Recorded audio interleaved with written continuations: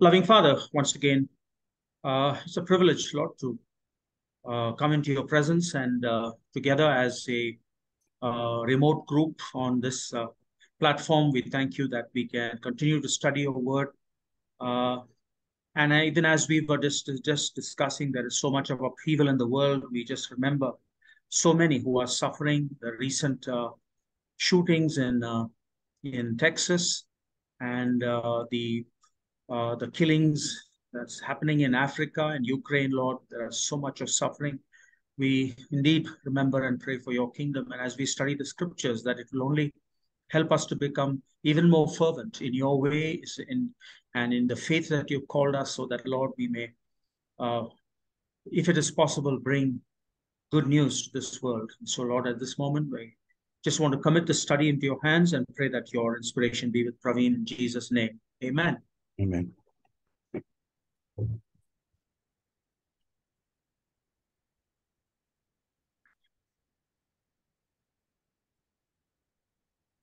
Thank you, Pastor, for uh, leading us in prayer. Uh, we are studying book of Ephesians, and uh, since few weeks we are looking at uh, chapter one, and this would be uh, the closing of chapter one. And uh, once again, if you look at the outline of uh, chapter one, first half of the chapter one of a book of Ephesians can be considered uh, as um, creation of the body of Christ. Of course, uh, previously I have given one outline. There is a, this is another way we can look at uh, the chapter 1 of okay, book of Ephesians. Chapter 1 verse 1 to 14 can be considered as a creation of the body of Christ because Apostle Paul speaks about how the body of Christ was formed and, uh, and there are some important uh, points and themes he gives. Number one is church was uh, established because uh, uh, we are chosen before the foundation of the world. And uh, church has been established because God has blessed us with every spiritual blessings through which church is also continuing and uh, the church each and every believer in the church has been predestined to for the adoption as sons of god. So on these uh, this is also one of the main main uh, reasons the church has been established. And the church has been established by the redemption through the blood of jesus christ and it has been secured completely established and secured by the Holy Spirit. So the first 1 to 14 verses, they do speak about the establishment of the church with various uh, uh, various uh, themes uh, we can read uh, in this chapter and uh, this is all completely the work of god out of his sheer grace and if we read the second half of uh, uh, this chapter, especially from verse 15 to 23, we can consider it as uh, uh, like, you know, consecration of the body of Christ. First is the creation of the body of Christ. Second part is the consecration of the body of Christ. Just for the sake of rhyming, I use the word consecration. We can also consider it as a blessing of the body of Christ. Here, some main points we can see are, uh, um, especially with the uh, Apostle Paul offers one interesting and amazing prayer. Uh, through the prayer, he prays for the uh, enlightenment um, of all the believers about the riches that they have in Christ Jesus and uh, he he uh, can, confirms again that we Christians are obtaining an inheritance in Jesus Christ, and uh, he prays for uh, uh, empowerment of every believer by the power of the Spirit of God, and uh, he also reminds us about our identity and uh, and he tells us that we are being seated in the heavenly places and we are subjected to Christ as head. So, uh, as a part of consecration or blessing, God is enlightening us about the riches, and He uh, and He granted us an inheritance uh, in Christ Jesus, and He is also strengthening us by His Spirit and by His power,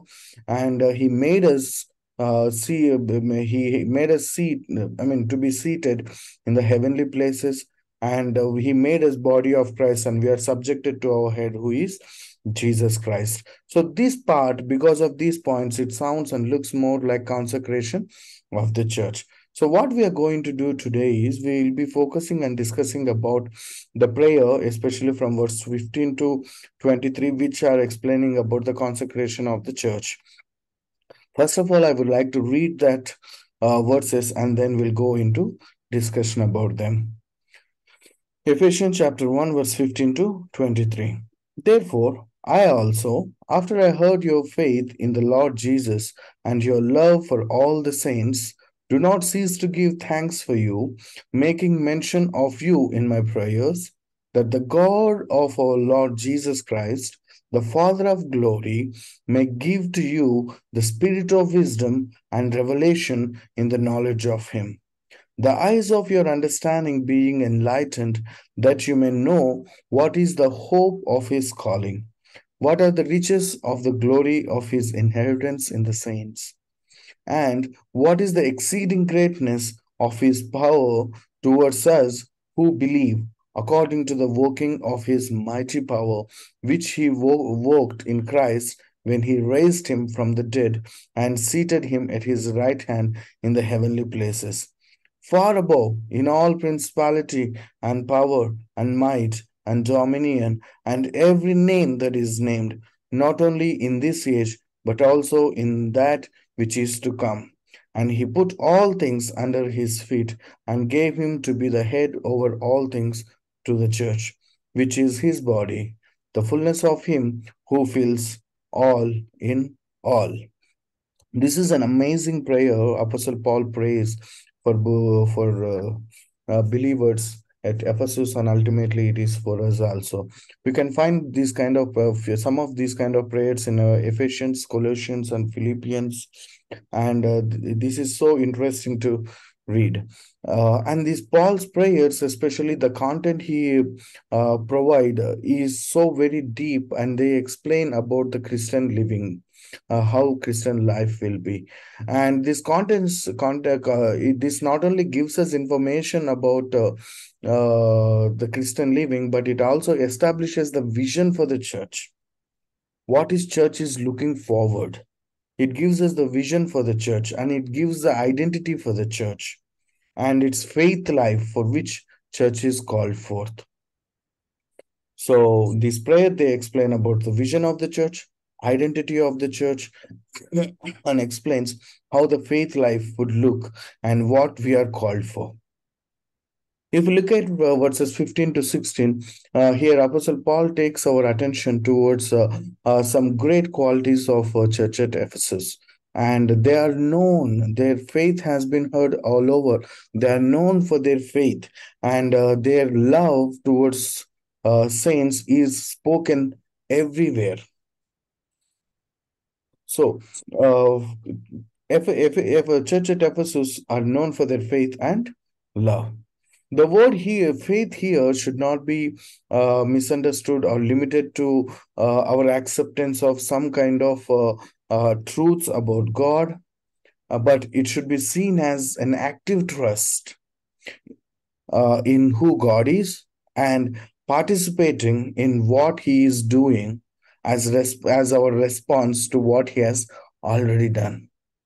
So faith is not just asserting and accepting and uh, believe, just saying uh, approving or uh, uh you know going along with uh, the truths that are being explained to us uh, historically or theologically or in whatever the you know whatever scientific methods we use so faith should not be understood just a psychological or intellectual or educational property. But the faith is, uh, of course, uh, we accept the truths about God and the scripture, but it has to be seen more like an active trust in who God is and knowing what He has done for us and responding to what He has done for us by participating what he is already doing in us and in the church and in the world. So that's what faith is all about. The, even G, James says, uh, faith without deeds is dead. This is what it means. So faith cannot be limited to education or intellectual as a intellectual property, but it has to be a living practice for all of us as participation uh, in what God is already doing in this world. And here another word we can find is love. Love for all this, uh, all the saints. One important thing we need to understand is this faith and love cannot be separated. They're inseparable. They're always together. If someone has faith, he cannot help himself but having love towards his brother. Faith leads to actions of love, and this love is seen through unity. So if somebody has faith, it will be resulted, it will be seen through the actions of love. That same thing Apostle John also says. If anyone says that they know God but do not love their neighbor, he love their brother, he's a liar. So the only way where our faith can be seen is through our actions of love. So this faith and love cannot be separated. They're, uh, they're always together.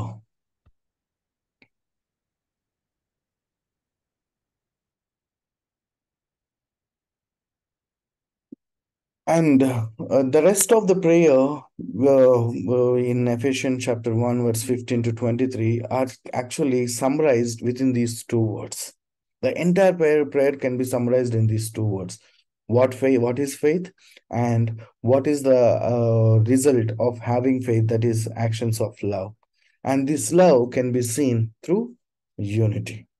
And not only just this prayer, the rest of the epistle also if you look entire book of uh, Ephesians, we find what the Apostle Paul is trying to communicate to us is by giving us the truth of uh, truth through uh, about our faith, and he explains who God is and who we are, and what Christ has done and accomplished for us, and what He is doing in our lives, and through which He explains how our life should be. So if you summarize entire book of Ephesians, it can be it can be said as the faith and the love of the church. These words they they can explain everything that uh, book of Ephesians is talking about. If you look at verse 17 to 23, uh, uh, you know, I'm segregating the prayer into uh, various sections Uh, especially verses 17 to 23, we can divide into two sections. In the first section, Apostle Paul prays that we may know the God of glory. That's what written in verse 17 that the God of our Lord Jesus Christ, the Father of glory, may give you the spirit of wisdom and revelation in the knowledge of Him. He prays that we may know the God of glory. And important thing here to notice is it is completely it is completely by the revelation of God, not by our education. We cannot know God by our education or our theology. Our theology would help us to experience God more intimately. But knowing God, it completely works through our uh, walk in faith, or through our uh, relationship in which we are known, we know that we are loved in that trust uh, the relationship which is completely based on trust a relational trust that's where we will be knowing god. And which can happen only by the work of the holy spirit. Unless the holy spirit reveals to us we will not be able to know the father. That's what jesus even said. No one knows the father except the son. No one knows the son except the father uh, except the father uh, and whom he wants to reveal they only can come to know and no one can come to the Father unless the Holy Spirit leads them towards the Father. It is the complete work of the Father, Son, and the Holy Spirit to know. If you want to know God, we have to, uh, you know, we have to completely depend on God, and we need to have the Spirit of God, uh, the Spirit of God, and the wisdom of God, and the revelation of God. In fact, it is the Trinitarian work. So if we are growing in the knowledge of God, that means it is a Trinitarian work. In other words, we are working along with, or participating along with the Father, Son, and the Holy Spirit. Only then we will be growing in the knowledge of God. This is a Trinitarian revelation. God wants us to know, uh, sir, he wants us to know God in the Trinitarian relationships. That's what Apostle Paul says. The the goal of the church, the calling of the church is to know God in these Trinitarian relationships. So, as the Spirit of God is leading, we will be knowing and learning about the Father in the face of Jesus Christ. As the Father is being revealed through Jesus Christ, we will be provided illumination by the Holy Spirit. So when, when only when all these three persons of the Trinity work in our lives, then only we will be growing in the knowledge of God. So Paul prays that we may know the God of this glory, and which is possible only by the Trinitarian work of God. And as we participate with the uh, as we participate with God in Trinitarian relationships, we will be growing in the knowledge. And second part, he speaks, uh, he prays that we may know the glory of God. First part speaks about uh, praise that we may know God of the glory, and second part speaks that we may. Uh, sorry, second uh, second part explains that how uh, explains that we may know the glory of God. So this glory of God can be also separated into. Uh, we can do some segregation. First part it is focuses on the saints, means believers. Okay, and uh, that is especially from verse uh, 17, uh, 18, and uh, even till 20. So, verse 17, from verse 17, we, we understand that Apostle Paul prays that we may know the person of God, which we have already seen, that he wants us to know who God is, the God, God, God of this glory. And second part, second thing is he prayed that we may know the program of God. First, he wants us to know the person of God. Second, he wants us to know the program of God. We can well find, uh, we can also call the purpose of God, we can call. So just uh, to put in order, I just uh, I took the word program. So verse 18, if you read, we understand the eyes of your understanding being enlightened, that you may know what is the hope of his calling, what are the riches of the glory of his inheritance in the saints. Apostle Paul prays that we may know the purpose of God. He called us with a calling, and uh, we, he, he wants that we may know what is the hope of our calling. We may know what is ahead of us. He may, we may know that where we are heading. In other words, the vision which we talked just few minutes ago. So Apostle Paul wants us to know that.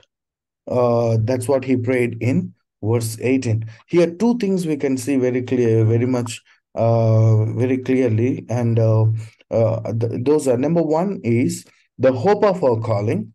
And number two is the riches of the glory of his inheritance in saints. So Paul wants us that, that we may know these two things. Number one, we may know the purpose, hope of our calling, and number two is what are the riches of His glory in uh, uh, uh, riches of uh, His glory, sorry, riches of His glory of His inheritance in saints. What is the hope of our calling? A lot of people say the hope of a Christian calling is going to heaven or being healed or becoming rich and so many other stuff we hear. But from apostle paul and uh, uh, entire scripture we understand the hope of our calling is the union with god we can find it in John chapter 17, where Jesus also was explaining, even of course, Apostle Paul also uh, said the same things in the rest of the epistle, uh, which we will be discussing later. Uh, but uh, for this point, I would like to bring uh, from the prayer of uh, Jesus, what Jesus was looking, according to Jesus, what is our goal as a Christian?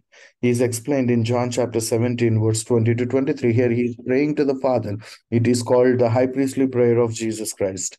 Okay, he, here he says, I do not pray for these alone, but also for those who will believe in me through their word, that they all may be one, as you, Father, uh, sorry, as you, Father, are in me and I in you, that they also may be one in us, that the world may believe that you sent me.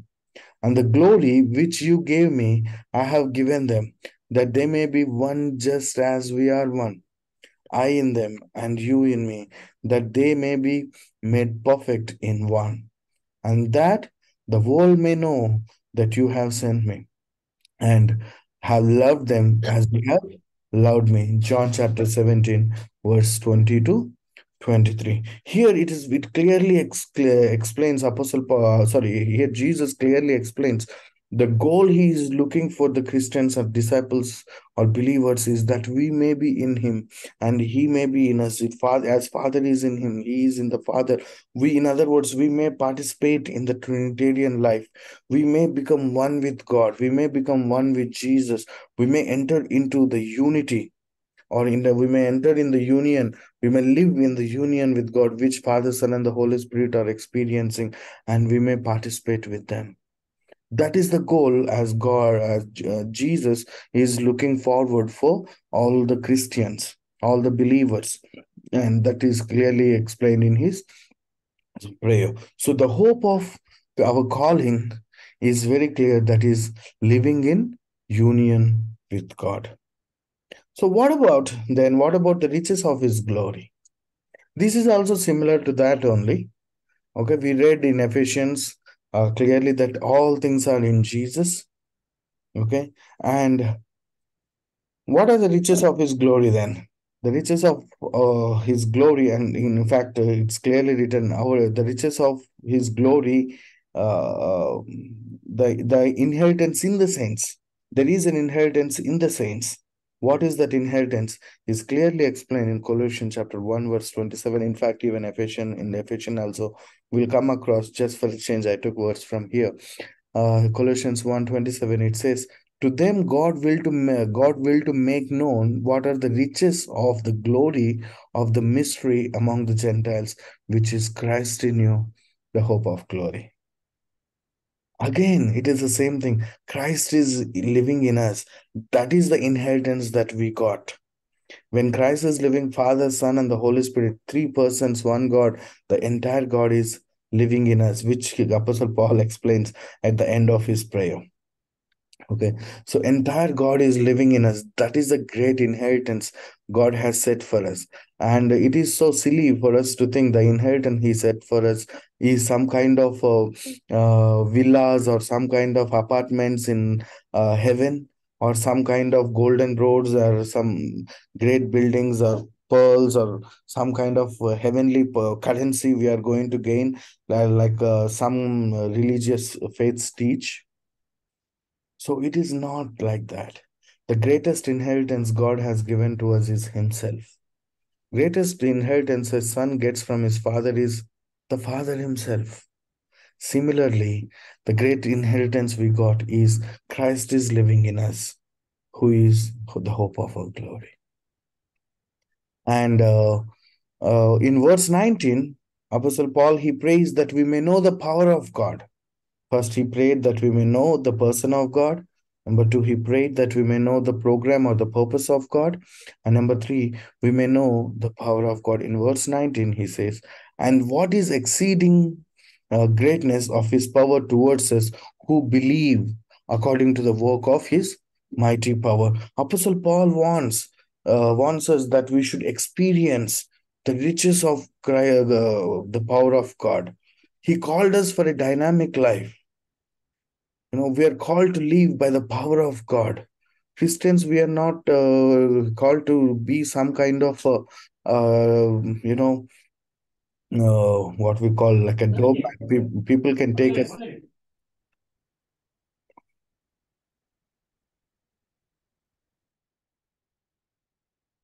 we are we are called to live by the dynamic power of god. This does not mean that we have to get back to uh, we, we need to establish some kind of political kingdom here. We need to start political parties or no this is nothing about that. But we, he called us to live by the power of the resurrection of jesus christ and uh, he did not call us to be some uh, passive people who, who cannot make change, who cannot influence the world, but he called us to influence the world. He wanted to reveal himself through the world. He chose us to be the representatives of his kingdom. And uh, how are we going to influence this world? By nothing but living, uh, participating with God, with God, uh, with what God is already doing in this world. It is the work of God to establish His kingdom. But we are called to participate with Him as we are participating with God. As we are participating with the triune life of God, we will be influencing the people around us. We will be influencing the world around us. We are not called to create a kind of influence for ourselves, but we are called to uh, be the representatives of the influence of God on this world. We are called we are called to live by the power of resurrection, but not by our own power. It's completely by His power, by His, uh, and we are going to live by faith.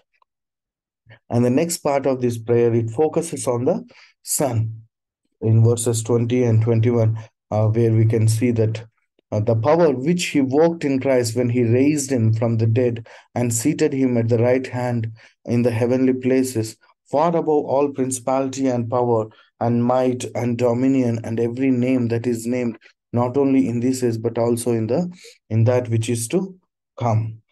This power that raised jesus from the dead this is the power of the resurrection of jesus christ. And apostle paul warns that we should experience the power of resurrection uh, we may think what is this power of resurrection that is does it mean we have to turn the world upside down? Does it mean the political power? Does it mean uh, uh, any power that uh, helps us to perform only miracles? No. The same thing we can find in Book of Acts. In Book of Acts, we can see the disciples turn the world upside down.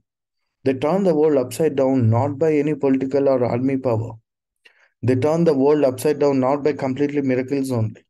They turn the world upside down by a great weapon they got that is the message of the gospel, the message of the love of God, the message of the resurrection of Jesus, which is the forgiveness of this world. So that is the power he had given to us. The gospel is the power that God had given to us, according to Apostle Paul from Romans chapter 1, verse 16. I am not ashamed of the gospel because it brings salvation to the world.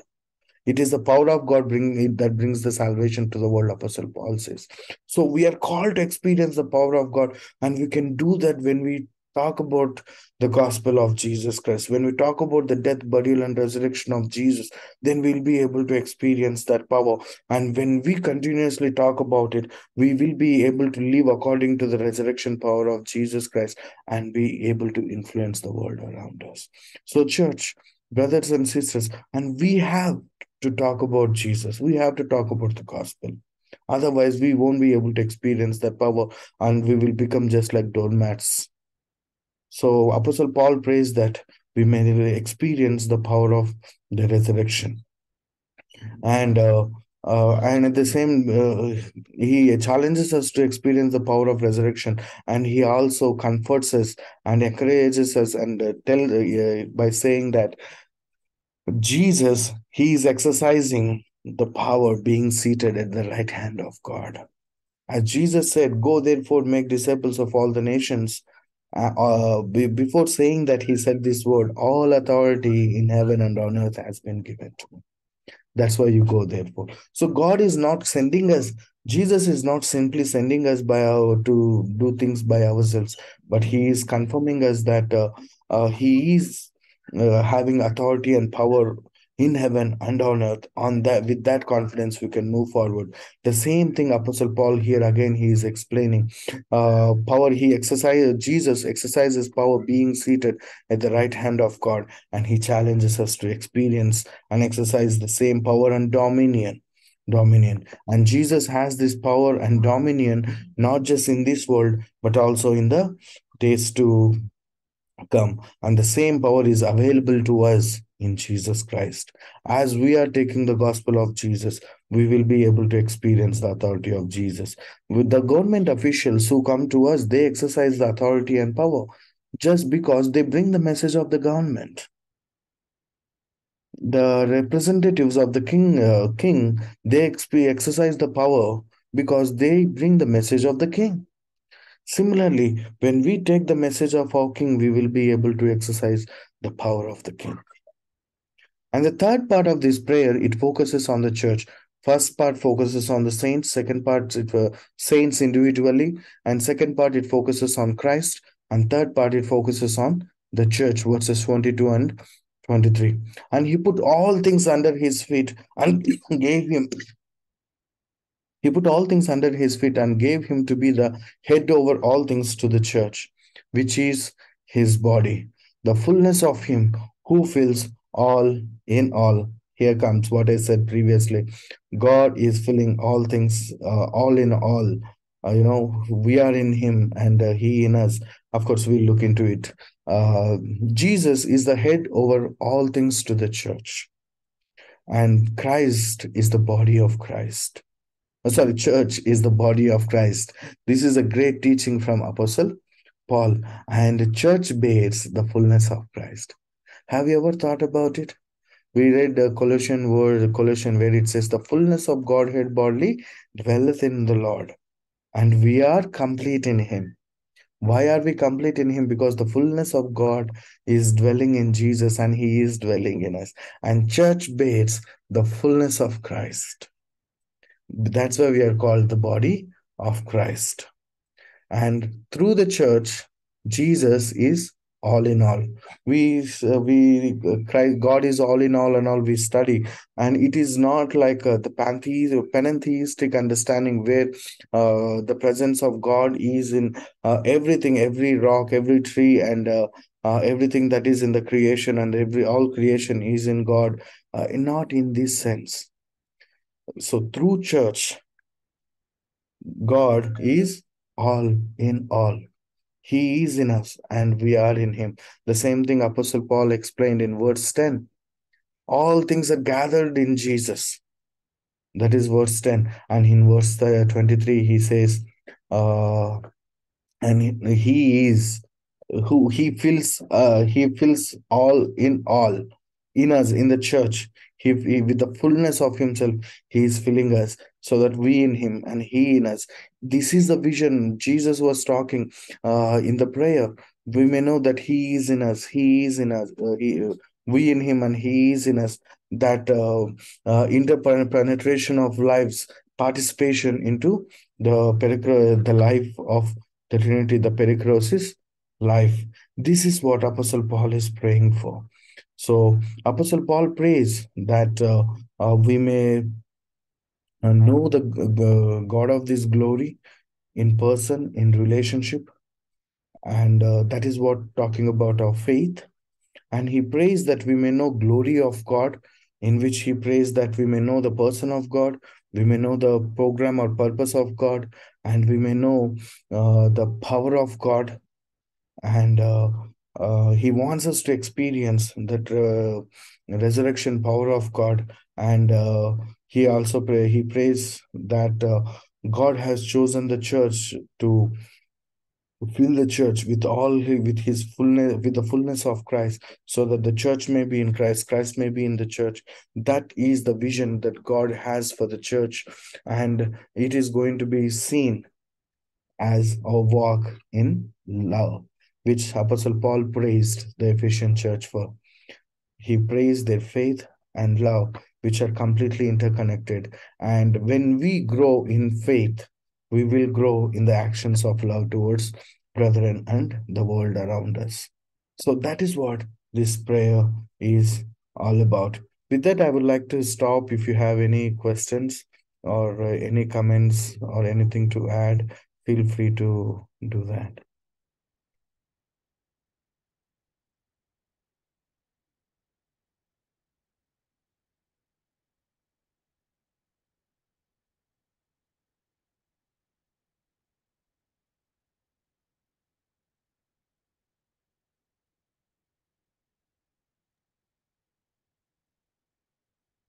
Uh, Suryamurthy always had the record of kicking off the discussion.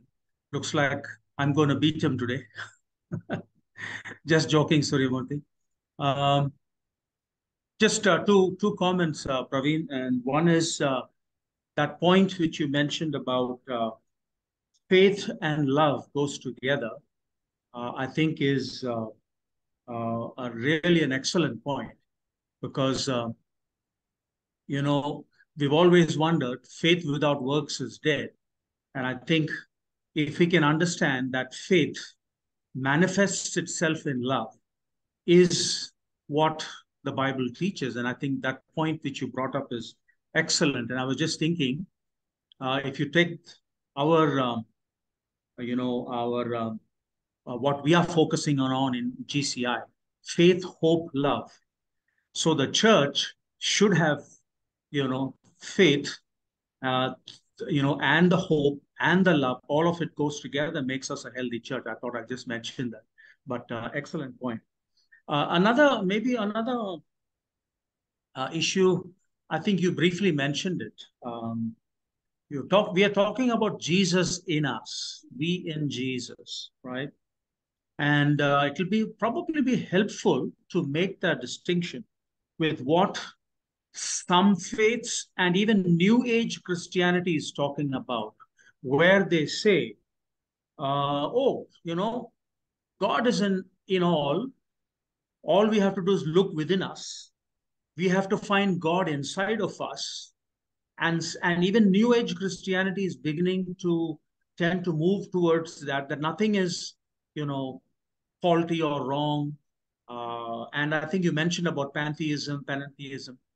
Um, maybe it'll be nice to just say a little bit more about that. How do we distinguish between when uh, people say that you should look within us, you will find God because Jesus is in you, and uh, you go have to go within yourself to find God. Can you make some a little bit more, uh, you know, clarification on that?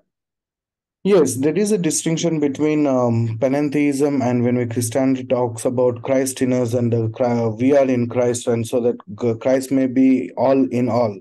Um, the panentheistic thought is uh, uh, when the panentheistic thought about God in creation, creation in God is considered in two two aspects. Number one is it is uh, considered in the perspective of uh, existentialism or in terms of uh, metaphysics, which we call talking about the existence of us. Uh, how are we existing? You know, God is existing in the creation, creation is existing in God. You cannot separate, and they are one so in terms of metaphysics they consider uh, this all in all concept number one. And number two is geographical concept. God is present in every rock tree and these uh, geographically he is literally present in that. But when it comes to christianity when we talk about god is in all and god filling god filling us with this fullness it is not uh, uh, existential. It is not even geographical it is completely relational aspect. Father is in the son, son is in the father, not just because they don't have any place to stay. And uh, they are in each other. That is like, you know, they are in relationship with each other. Just like, uh, you know, uh, I'm just taking this phrase like, you know, I'm into you. That's what we say, like, you know, to say that I love you like in such a way in such a sense in relationship we are in each other so Christ is in us, we are in him in relationship. That's where it makes difference again. People say, okay, Jesus is in everyone, so Jesus is in non-Christian also. What is the difference it makes between Christian and non-Christian? Jesus uh, is in non-Christian. Uh, sorry, Jesus is uh, in Christian in relational aspect whoever re responded to Jesus, whoever responded to the gospel, whoever walks in relationship with the Father, and uh, with them he is already in them and they are in him. It is not with ev uh, everyone and anyone like panentheistic thoughts say. And there are already groups that are growing. There they call themselves as christian panentheists okay uh, so this new age movement is making a very big influence on christianity as well. And that is where the doctrine of trinity helps us very much and next thing is in panentheism, uh, they, as I said, the um, God in creation, creation in God for uh, uh, the very purpose of existence, right? Uh, and uh, Christianity also talks about uh, existence, which we call metaphysics. Uh, our existence is in our relationships. It is not in any other kind of uh, uh, you know geographical kind of connection or just not just the source of somebody or the energy that has been provided to us. According to panentheism, God provides the energy for the creation to exist, and uh, creation is uh, the channel where God God can exercise and reveal his uh, his power. But in Christianity, it is completely different. We call it um, uh, the word uh, onto relationships. They call enveloped in each other. Okay, so the very existence of Father, Son, and the Holy Spirit is in the reality of they are in each other. They are in relationship with each other. Our existence also is not based completely on the on the fact that God has taken mud and made us the our existence is based on the reality that God loves us. He is in us. So not in the mud. His presence is not in the mud. His presence is the relationship he has with us, which symbolically he breathed, uh, he breathed into us the breath of life. That that can reveal uh, that that can be a symbol we can look into. So that's why in um, book of Luke, uh, when uh, Luke gives the genealogy of Jesus Christ, he goes from uh, he goes back and he goes till Adam and he gives the description Adam, the son of God. In other words, again, the existence of Adam is in the very relationship that Adam has with the Father. So that's how it works. Does it make any sense? Uh, yes, I think uh, that word relational is so important, uh, which basically helps us to understand that uh, though Jesus is in us, we are in him, there is still a distinction. Just as Father, Son, Holy Spirit are one, and yet there is a distinction between the persons. In other words, we don't uh, uh, we don't uh, we don't just melt away, we don't merge, we don't cease to exist. We have our individual identity. Our union with Christ retains our individuality, so that is not compromised. Um, so we are not an illusion. Uh, we are, you know, God loves real people and we are real. And so, and I think um, that helps us to appreciate more the uh, tremendous that inheritance that you talked about. Uh, that that um, to be in Christ and to enjoy that sense of relational harmony and joy and oneness and, and, and love. So maybe, yeah, that, that's a very good point. Yes, Bertie. Am I right in saying that God, we are God's children through regeneration, through rebirth? We are God's, uh, uh, yeah, we have been made by God, uh, uh like uh, by we are children uh, through His creation, through uh, first parents, Adam and Eve, we all come down uh, and share in the flesh and blood and, you know, uh, the makeup. But uh, as we know, God, God always, his plan was, and he wants us to be his children as Pastor Praveen, you're mentioning that we are called to have that, uh, you know, the close communion, the oneness, uh, which begins by you know uh, turning to Him is by the grace of God and through faith in Christ to turn to Him and get baptized and receive the Holy Spirit. Uh, we become His children by regeneration. We are in Christ, Christ is in us, and through Christ, uh, through His Son, we have fellowship with the Father in the Holy Spirit.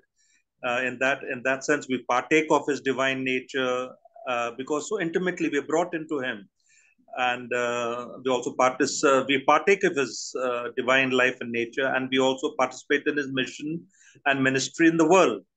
Uh, so uh, am i right in saying that we are children that intimate connection that we have and we'll always be? That's why he says he and us we and him and he is all in all the body of Christ is all in all, you know, Christ, the triune God dwelling in us. Uh, correct me if I'm wrong. We are his children through regeneration. Yes, uh, Pastor Praveen? Um, yeah, I would like to answer a little differently, but I appreciate what you have shared, and uh, most of it is uh, it's it fits very well with our uh, scripture. Uh, I just put like I would like to put things here and there.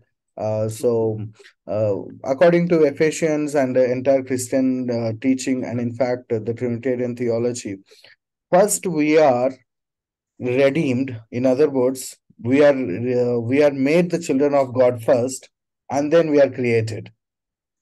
Okay, the Lamb was slain before the foundation of the world, and uh, we are created. Uh, we are called. God has chosen us to be His children before the foundation of the world to be holy and blameless in his sight. And then he created us. And what you talked about regeneration and the work of the holy spirit this helps us to live worthy of our calling in other words to live like the children of god. The regeneration is not making us the children of god. The regeneration experience it is helping us to live as the children of god we are made the children of god by the work of god before the foundation of the world in christ jesus and it has been accomplished. And it has been revealed to us Uh, through jesus christ.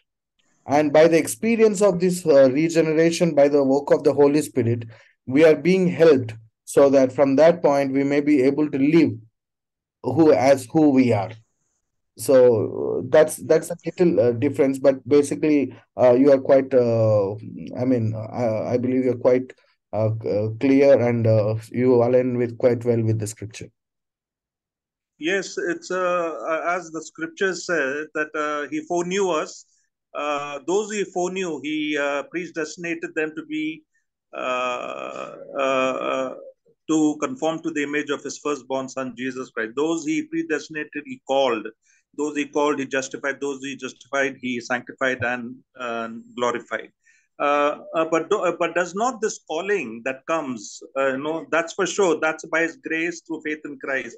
Call is not the calling. Uh, calling is to turn to me, and even in some in Isaiah it says, only confess that you have sinned against me. You know, turn to even that grace of giving. You know, to turn to Him and to.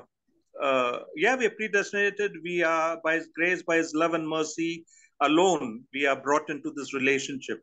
But uh, wouldn't you call these signs that you know when we turn to Him, we get baptized uh, in the Father, Son, and Holy Spirit, and we receive the gift of the Holy Spirit. We walk as you write. The Holy Spirit is there with us, Christ in us, uh, doing sanctifying work and and you know doing His work through us. And we have the blessings, as mentioned, the Ephesians and all. My point is, don't we look at that as as uh, you know uh, sign signs? You know, like uh, when we turn to Him, turn means returning to Him. Uh, repentance, baptism, and receiving the Spirit, living in faith, all that. Um, absolutely, but I agree with uh, most of the things that you have said. I'll just put in a little difference, not much, very slight difference that is there. Uh, that is uh, uh, whatever we uh, you said uh, by the by foreknowledge of God, by the work of God, we have been made the children of God. We I accept that. We also have responsibility to respond in repentance and faith. I mean, Yes. that's the point you were trying to pick it up. So the repentance is not for God, repentance is for us. Yes. We require repentance. God doesn't require our repentance. Yeah. We require so that we may be able to connect to God. We may be able to relate to God. It is Yeah. not that God does not know anything, so we have to confess and repent so that He that moment He would come to know and to help us to go through the process. It is not like that. Repentance and faith, those are things we require, not God. Those are not requirements for God. So God, uh, but these repentance, this baptism, all these things, they help us. Yeah. You know, they, Yeah. help us to live as who we are. Yes. Yes. Help us to live worthy of our calling. Yeah. is no repentance, we would not have a vision about who we are. You're If we correct. don't have the faith, we won't be able to move forward. That's where the Holy Spirit comes and uh, steps in and leads us into the fullness of life. So Yeah. God has accomplished our life before the creation of the world, and He introduced it us through our creation and revealed it to us through Jesus Christ, and through ho- by work of the Holy Spirit, we are we will be able to live worthy of it. So right. we participate with the Holy Spirit and the Father, Son, and the Holy Spirit through through our repentance, baptism, and faith. All these things help us to participate with God. Yeah. As So the scripture says, who we are. uh, when we believe Jesus Christ, the Holy Spirit is given to us. Yes. Uh, so that is uh, my point is that uh, you know we have to be uh, very aware of that thing and uh, to know that we're distinctly like you know called and uh, god has blessed us with his blessing and our citizenship is in heaven uh, from whence we await the lord and savior jesus christ to come but his working in us now you know to uh, leading to the our glorification and we should be aware of us so that uh, in times of our lows and highs you know we should know that he is there I'm uh, I'm just telling you about my own condition. Uh, you know, of late, uh, you know, I'm, I'm missing out in prayers. There's some some is there, which is like uh, like either like I feel dull, I feel uh, you know, I feel what call I feel this thing. I, you know, I feel little, like sleepy or feel dull. I feel some un- discomfort in my head. And uh, th- and uh, that is sort of like a hindrance to me to praying and to you know to meditate which is so important to us. God says you know uh, the psalmist says i've hid your word in my heart that i might not sin against you. God's word in us is very important. And uh, you know uh, and, uh, what do you call that? Your meditating on the word and knowing him because it, it it's needed in our low and high times you know to to give us stability and health I have been affected of late. So I just, uh, and you know, my point is that we should be aware of Christ in us. If God says, if you're not aware Christ in us, you uh, then you are a reprobate. You know. Absolutely. So yeah, I can relate to what you're trying to say, Bertie. Yes, we should be aware of uh, Christ in us, and yeah. uh, when times of we we will definitely have times of high and low. That's where uh, we are we are in a, we are in church. We help each other as brothers and sister sisters. Yeah. So I I appreciate uh, Bertie. Yeah. What you say.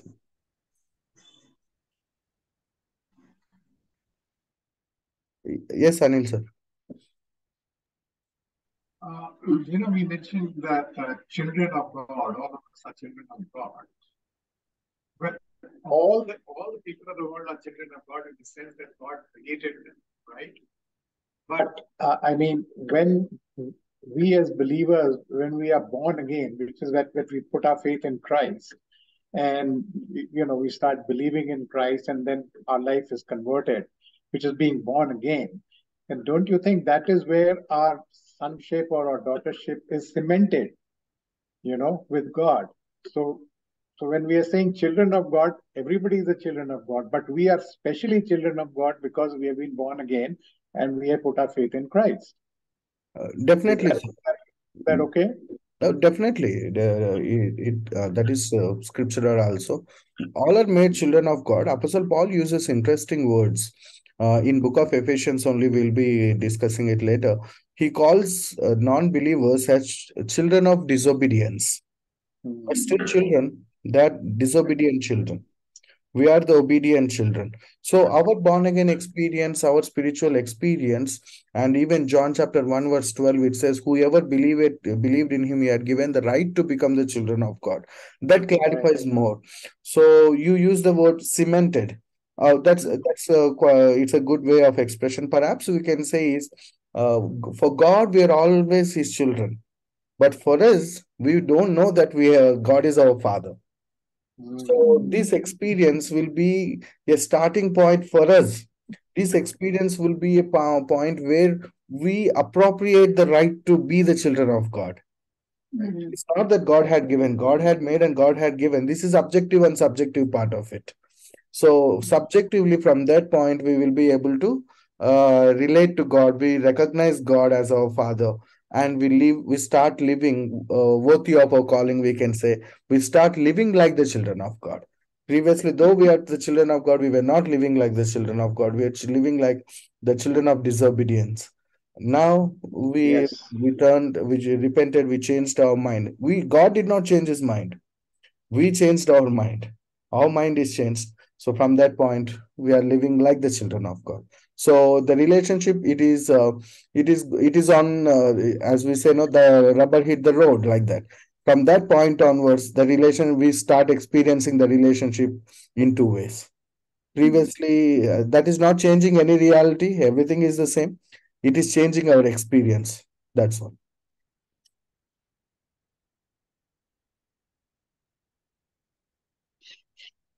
Yeah. Yes sir. Yes franklin uncle Uncle, you're on mute. Now? Yes, you are audible. Uh, uh, Praveen, excellent point, seconded by our senior pastor. Uh, faith, hope, and love are interdependent. You cannot have one ex ex exclusively. So they are inextricably uh, interconnected, number one. A second point, no, sir, I mean, you made some very nice observation. Uh, you said uh, God is not going to give us apartments in heaven. Uh, so, can you please explain? Uh, there is one particular verse in the Bible which says, uh, In my father's house are many mansions. If it were not so, I would have told you, I go there to prepare a place for you.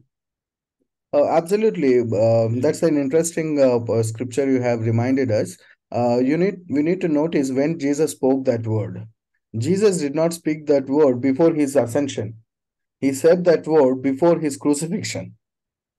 John chapter 14, am I right? Uh, in John chapter 14, he tells, In my father's house there are many mansions. So where was it? Where was Jesus going? Was he going to heaven? And what the picture we take we get about? No, it is not. Okay. So when Jesus said there are mansion in the house or there is place in the house, he's he what he meant to say is there is a place in the Father's heart. That's what he meant to explain okay he is not building he is not the architect going to heaven and building apartments for us. And there again we have the problem who gets the biggest up a bigger apartment? Who gets the beautiful apartment?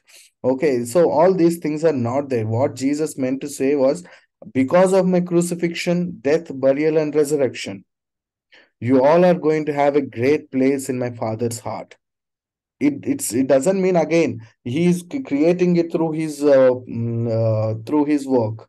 There is already whatever father has the same thing jesus revealed.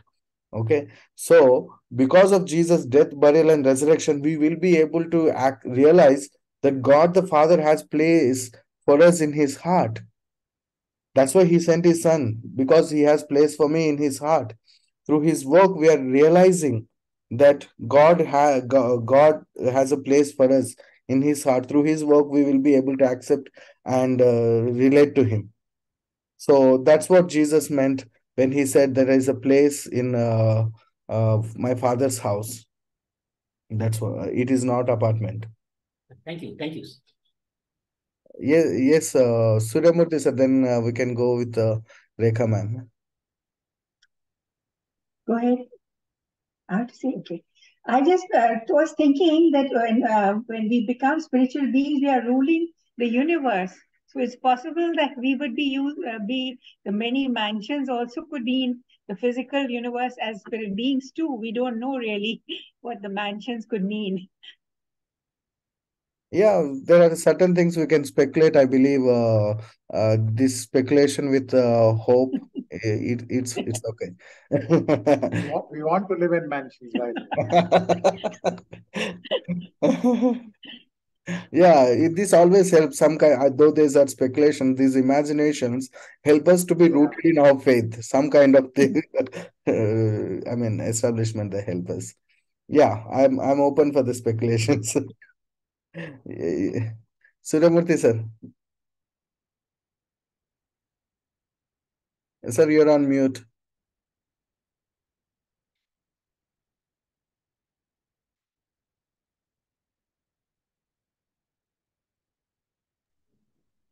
Yes. You said the mansions refer to the place, places uh, in God's heart.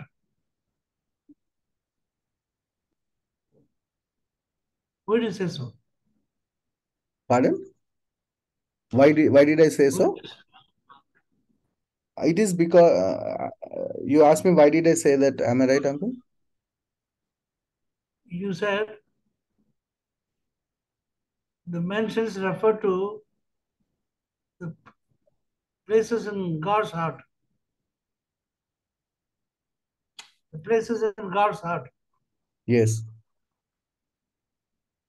What say so? Yeah, the reason is um, uh, the point where Jesus said this word, number one. It is not before ascension, but he said that before his crucifixion. If we take that word literally, like a um, mansion only, Jesus also said another word I'm going and I'll come back and take you. He went and he came back and he did not take us. That goes also wrong. So the place where Jesus said it might it helps us to relate uh, because the first half can be right, second half cannot be right. That is not a logical argument. Am I right? So both should be right. So if the first thing, first part we take literally, second part also we need to take literally. So Jesus said that before his crucifixion, because of his crucifixion, death, burial, and resurrection, we are able to uh, re relate and we are able to connect to the place that God has in our in his heart for us. So that is the reason I have said what I said. And another thing is the book of Revelation ends with uh, it doesn't end with God Jesus taking us to heaven, but bringing the bringing down the heavenly Jerusalem down to earth. So this also doesn't match with that. He said he will take us to my mansion, but he is bringing down the mansion down to us, city down to us. I don't know if there are any mansions in that or not, but however, he is bringing the city down. So this also doesn't go uh, in a literal sense uh, with the taking this word in a literal sense.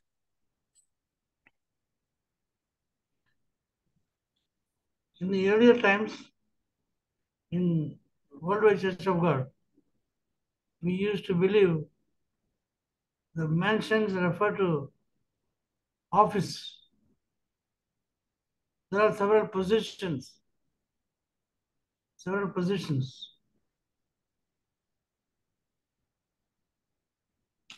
Okay.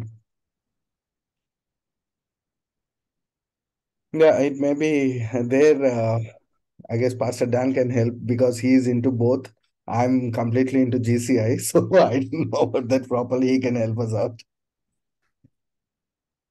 Yeah, I think the previous belief was that just as uh, the 12 disciples were promised, you know, that they will uh, have rulership.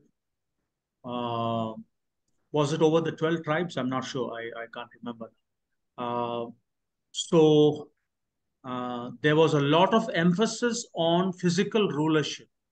And we used to say that we will all inherit a particular planet where we can then rule uh, those planets. And I think to some extent, uh, I don't know if uh, Suryamurthy uh, studied this, but uh, we had a little bit of Mormonism in our teaching. Uh, so we used to very strongly emphasize on physical rulership.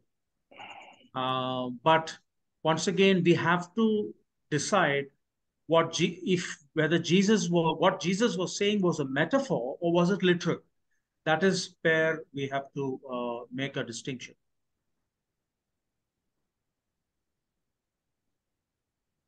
Bertie has a point here. Yes, uh, you're you're right, Mr. Zechariah. Earlier teaching was uh, regarding uh, having mansions uh, prepared a place for you was alluded to an office that we would. But Mr. Zechariah, I don't quite remember ruling over another planet. Uh, and yeah, the twelve the twelve disciples were promised, uh, you know, being a king or ruling the twelve tribes of Israel. That's right. That's there. That was, uh, you know, at Christ's second coming when he and as Pastor Praveen says, the heavenly Jerusalem, you know, will come down and uh, the the the kingdom of God will uh, rule earth wide, and Right. uh, we will be there. Yeah, we will be there, and uh, yes, uh, look forward to it. the logic we used was why would God create such a vast universe? And uh, hence, you know, uh, he must have some purpose creating all these stars. And apparently, it was for us human beings who will go and rule, you know, uh, galaxies and stars and clusters of stars. So that is how we used to reason. Perhaps uh, maybe I would like to consider this way. There are a lot of places uh, scripture is clear, and so in a lot of places scripture is not very clear. Uh, so these are some things, some details where scripture is not very clear.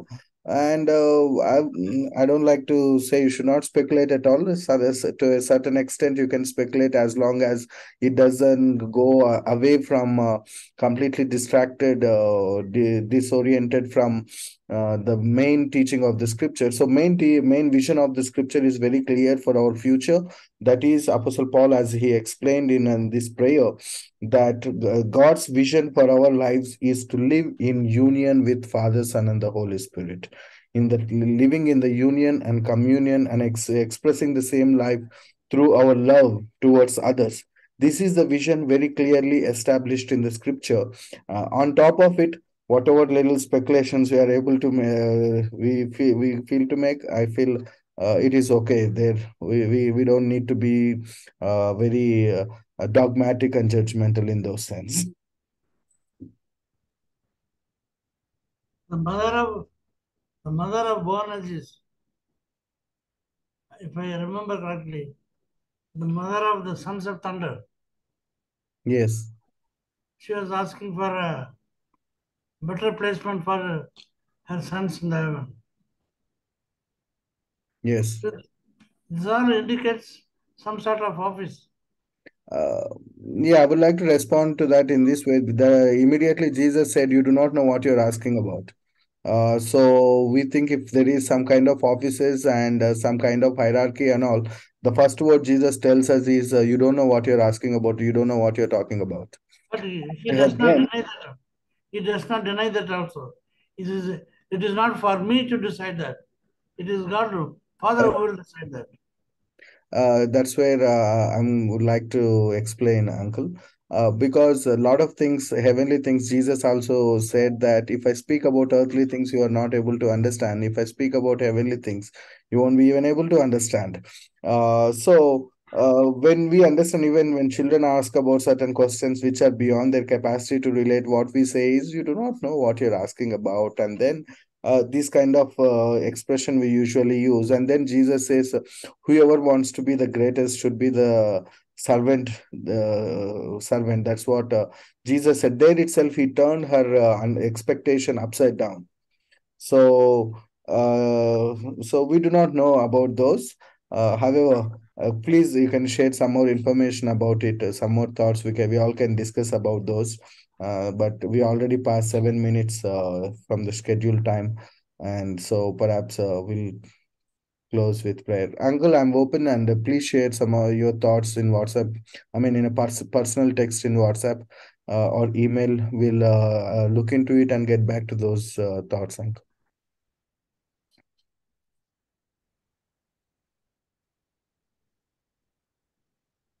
You want to ask someone to close, uh, Praveen? Yeah, perhaps uh, can I ask Mr. Franklin to do that?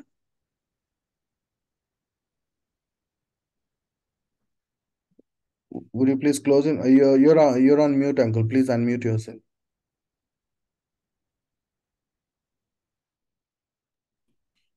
We You're can't hear you. Franklin.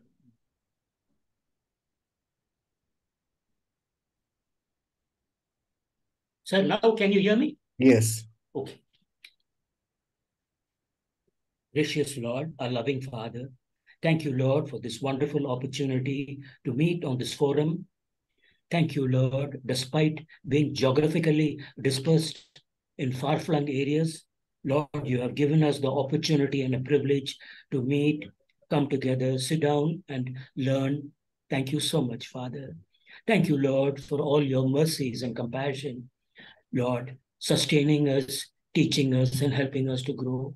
Especially, Lord, we want to thank you for all our pastors who struggle and who try to explain to you.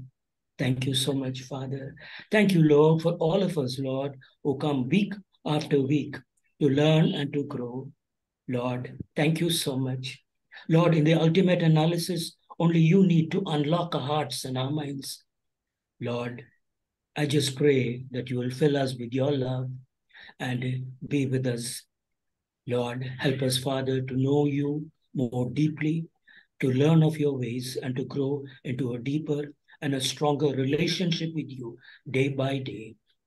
Looking forward, Lord, to the fullness of time when Christ will come and take over the reins of the earth. We pray, Lord, that you will hasten that day, the coming of your Son, Jesus Christ, to this earth. Thank you so much, Father. Lord, we ask your blessings upon all of us. And do be with all those, Lord, who want to learn and grow, but find it difficult to synchronize their time with our time.